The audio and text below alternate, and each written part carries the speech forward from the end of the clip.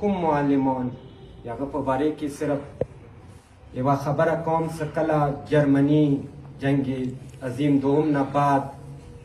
تباہ و برباد شو هرچه انفراسترکچر هرچه تباہ و برباد شو نو یو اجلاس منعقد شو ساغه کې ماهرینو خپل منځو کې دا خبرې کولې سو اوس به جرمني ته څه کیږي ټولو ښې خبرې وکړې په یور کې پاسېدو هغوی له ته مو ته ښه ټیچر راکړه زه به تا ته ښه جرمني دیر کوم راشه مو دغې معاشرې ته څه هلته ټیچر سره کوم سلوک کیږي هغه تاسو ولې نه دغې واقعې کې صرف ټیچر قاتل نه دی شوی درې مین ډېر شیان قاتل شوي دي خو درې مین شیان قاتل شوي دي چې هغه باندې به زه خبرې کوم خو هغه نه مخکې لږ غونډه کې دیمو حکومت به حسی باندې دوی درې خبرې وکم خبرو کولو ضرورت یا په دې نشته دی سمو وړو رضوان شو دغو تاسو کوم مډل خبرې کیدای شي کنه دوی ته وشوي خو دوی کې نه غیرت شته نور کې شرم شته دی ته بالکل بې حسه شوي دي هرچ کېږي موږ خو یې چیونه یې دوی په مقابله کې خو زه به اوس رسوم خپلې خبرو ته څو کوم شیان قاتل شوه درې شیان قاتل شوه اول مسلمانی و انسانیات قاتل شو دویم علم و تعلیم قاتل شو دریم پښتونولی قاتل شو اول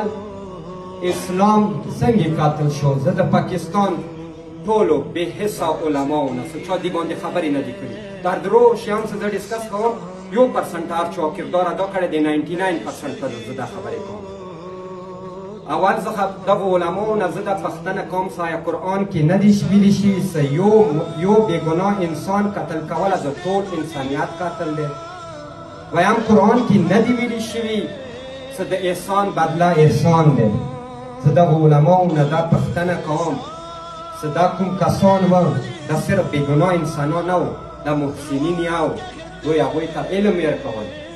چې کله دا قتل شو آیا تاسو باندې دا حق نه و چې تاسو هر ځای کې یو پروګرام کړی وی او بیا هم اخري کې یو اجتماعي پروګرام کړی وی چې هغه کې تاسو ټولو یوه فتوا جاري کړې وی یو بل باندې خو فتواوانې لګوئ څه کاپیر دي کاپیر دي دغه ځای کې به مې یوه فتوا په صادره کړې وه چې د تري منګل دا کوم خال دي د اسلام صحیح څه تعلق نشته دی دینه بعد به دوی ته څوک مسلمانونه نه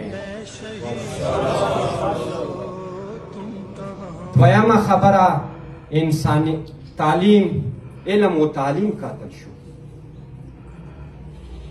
ای پی ایس واقعا وشوه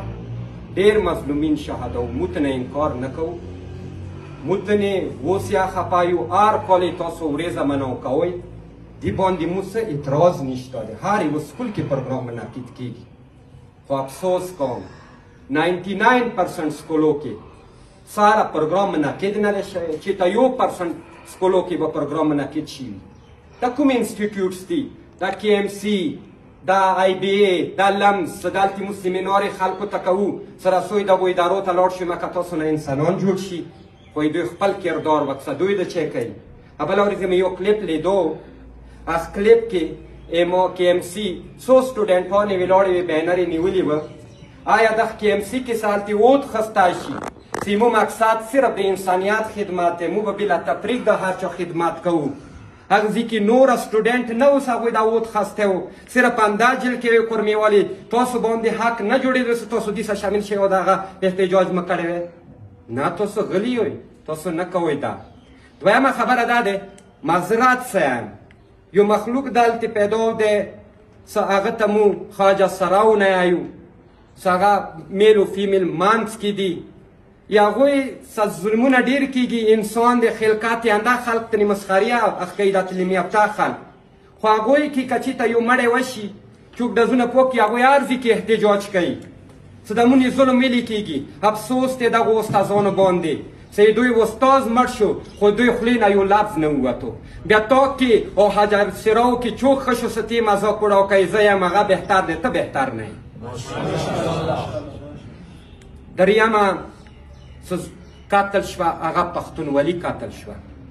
یوه کیسه به بیان کوم مو وړه وو یمو چولې کې ملت کې یو اهل سنت وسېده